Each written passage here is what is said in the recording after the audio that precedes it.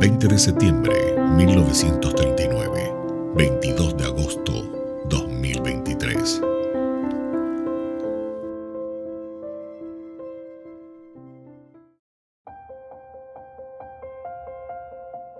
Nació en San Estanislao, hoy diócesis de San Pedro, un 20 de septiembre de 1939. Hemos de agradecerle al Señor por tener la reliquia de San Juan Pablo II. Sus padres, don Zacarías Cuquejo y doña Eva Concepción Verga. Fue bautizado en la iglesia parroquial por el reverendo padre Pedro Casela el 22 de febrero de 1940, siendo sus padrinos don Eustaquio Liusi y doña María de Liusi. Contento de poder ya descansar después de un cierto tiempo. Recibió el sacramento de la confirmación de manos del obispo de Concepción, don Emilio Sosa Gaona, un 13 de agosto de 1940 siendo sus padrinos el doctor Alejandro Marín Iglesias y señora Doña María Victoria Sens Valiente. Hizo su primera comunión un 15 de agosto de 1947, en el mismo día de la fiesta de Nuestra Señora de la Asunción.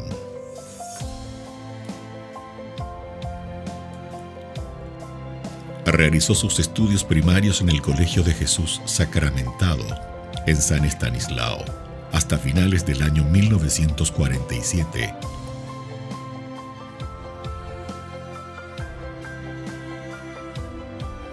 Para trasladarse luego a Asunción y culminar el ciclo primario en la escuela parroquial Nuestra Señora del Perpetuo Socorro, En marzo de 1957, ingresa al Seminario de los Misioneros Redentoristas en Bella Vista, Buenos Aires, Argentina. Y en diciembre del mismo año, comienza el año del noviciado en la ciudad de Manuel Ocampo. Un 2 de febrero de 1959, emite su profesión religiosa en la Congregación de los Misioneros Redentoristas en marzo de ese mismo año viaja a los Estados Unidos de América para realizar los estudios de filosofía y teología en el Seminario Mayor de los Misioneros Redentoristas en el pueblo de Sopus, New York. El arzobispo de Asunción pidió a los presentes rezar por él. Fue ordenado sacerdote por el cardenal Francis Spellman, arzobispo de New York, el día 21 de junio de 1964, en el marco de los festejos de Nuestra Señora del Perpetuo Socorro. De Cristo que nos salva en esta Eucaristía. Tras la celebración, Cuquejo dijo estar satisfecho con su labor durante los últimos 50 años. En 1965, realiza el tirocinium pastoral en la ciudad de Annapolis, estado de Maryland, USA, y un curso de psiquiatría pastoral en la ciudad de Washington.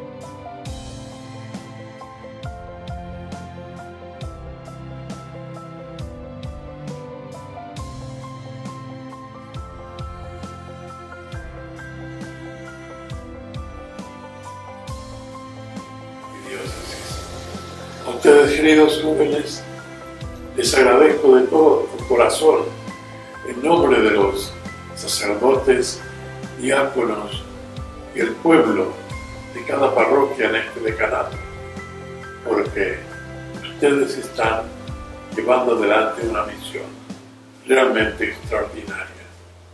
Ser misioneros del Evangelio es la alegría de la fe. Que Dios les bendiga regresa al Brasil para completar su año de pastoral misionera en la ciudad de Ponta Grossa, Paraná.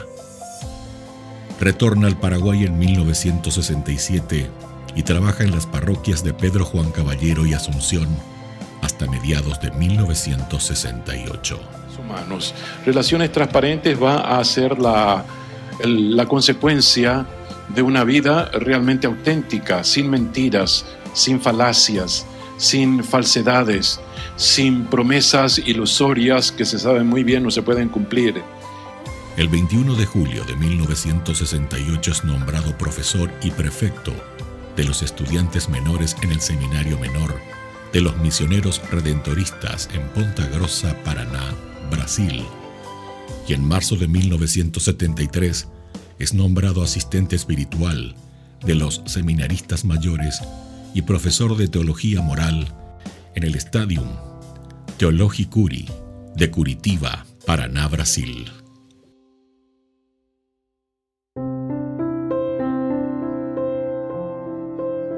que la bendición de Dios y María Santísima, juntamente con San José, hagan de nuestra patria una convivencia más digna, más hermosa, y que nuestra iglesia sea purificada cada día más para servirle al Señor. En el mes de agosto de 1975, se traslada a la ciudad de Roma, Italia, para realizar los estudios de posgrado en Teología Moral. Obtiene la licenciatura con el grado Summa Cum Laude en la Academia Alfonsiana. Adjunta a la Pontificia Universidad Lateranense de Roma en junio de 1977. En la Asamblea Efectiva de los Misioneros Redentoristas del Paraguay es electo superior de los mismos el 6 de enero de 1978 y reelegido en el cargo tres años después, en enero de 1981. Durante el segundo mandato se erige el Seminario Mayor de los Misioneros Redentoristas en el Paraguay y en el mes de octubre del mismo año es nombrado viceprovincial de los misioneros redentoristas en Paraguay.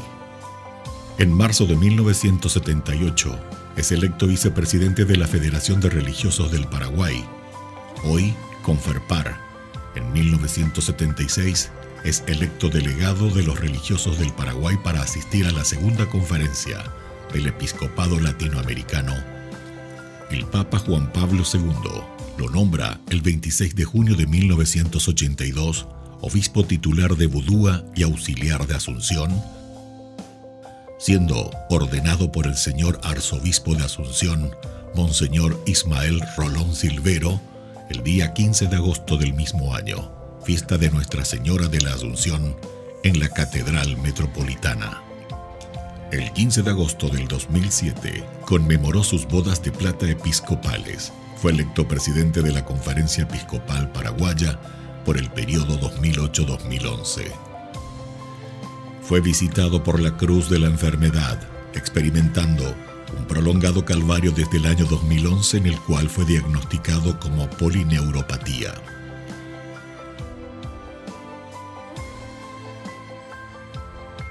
El 8 de noviembre de ese mismo año, el Santo Padre Benedicto XVI designó a Monseñor Edmundo Valenzuela Mellit como arzobispo coadjutor de esa circunscripción eclesiástica. Señor, tú lo sabes todo. Tú sabes que te amo. El jueves 5 de abril del 2012 presidió la misa crismal en la Catedral Metropolitana y ese mismo día viajó a Baltimore, Maryland, Estados Unidos, para recibir tratamiento en el Centro de Rehabilitación Estela Maris de los Padres Redentoristas. Mientras se encontraba allá, sufrió un accidente coronario que modificó el curso normal de su vida. Culminado el proceso médico, volvió a Paraguay y a pesar del avance de su dolencia, no bajó los brazos y siguió al frente de la arquidiócesis hasta el año 2014, año en el cual celebró también sus bodas de oro sacerdotales el 21 de junio. El 20 de septiembre del 2014 cumplió 75 años de edad y en conformidad con el canon 401 S1 del Código de Derecho Canónico, presentó su renuncia al gobierno pastoral de la Arquidiócesis de la Santísima Asunción, la cual fue aceptada por el Santo Padre el 6 de noviembre de ese mismo año, siendo sucedido inmediatamente por el arzobispo coadyuctor Monseñor Edmundo Valenzuela. Siendo ya arzobispo emérito, presentó un libro inédito titulado Ecos del Corazón, el 21 de diciembre del 2016. Allí recoge 235 poemas escritos a lo largo de más de 50 años, desde el 25 de marzo de 1957 hasta el 14 de agosto del 2014. Textos en los cuales con un tono íntimo, contemplativo y religioso describe distintos momentos desde su adolescencia y juventud como novicio redentorista hasta su vida adulta en la que sirvió como arzobispo emérito de Asunción. En estos últimos años siguió acompañando silenciosamente el caminar de la Iglesia en la Arquidiócesis de Asunción, a través de su oración silenciosa y participando de algunas celebraciones, aferrado a su silla de ruedas como signo del madero desde donde le tocaba dar un testimonio de fe de amor por Cristo y por la Iglesia.